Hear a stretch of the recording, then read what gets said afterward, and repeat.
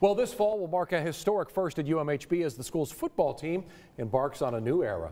Sports director Curtis Quillen is here now with the passing of the torch as the legendary Pete Fredenburg retires. Yeah, he's hung, Chris, around, he's hung around a long time. He has. He's the only head football coach the school has ever known. And as we sat down with him and newly promoted head coach Larry Harmon to discuss the passing of the torch, we learned that just because there's a change at the top doesn't mean everything will be different. For 24 seasons, Pete Fredenburg was the friendly face roaming the sidelines as the head football coach at Mary Hardin Baylor. I still thought that I would stay here a couple of years and get back into Division One, but I fell in love with Division Three, fell in love with this university. But now, the only head coach one of Division Three football's biggest powers has ever known is calling it a career. After 231 wins, 17 playoff berths, five Stag Bowl appearances, and two national championships. My wife has done a great job of taking and raising our three children, and then um, now it's it's time for me to help, and I, I want that. I, I want to be able to watch our our grandkids. Um, so yeah, it's it's time. I felt like it was time. Almost the entire time, Larry Harmon has been in the meeting room with him. So I was asked the question, why do you think you're the guy? Why do you think you're the best guy for it? And I've been here so long, I, I, I, wasn't the guy that got to make the final decision, but I, I've been involved in every major conversation dealing with this program since 1999.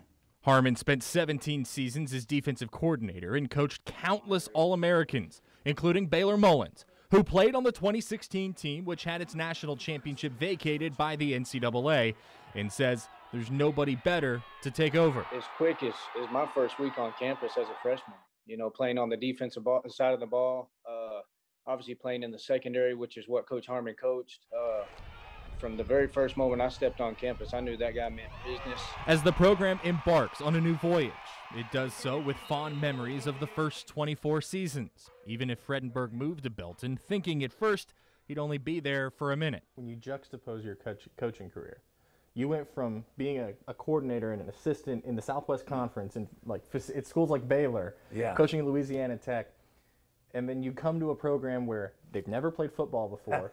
it's their first first couple of years in Division yeah, One period. Yeah, and you're playing at a high school stadium. That's right. Uh, what what, what was it that got the? What was what was the motivation? I you know, and also took a huge cut mm-hmm. in pay. But the reality is that I really, I really and truly believe that this is where God wanted me. I mean, um, and and the, the proof is in the pudding. I mean, we've just had 24 years of, of, glorious time. 24 years of stories to get passed down to the next generation of Crusaders. We beat Mount Union there our senior year in 2016, and uh, I think Coach Fred showed a few dance moves in the locker room that, that will stick with us forever.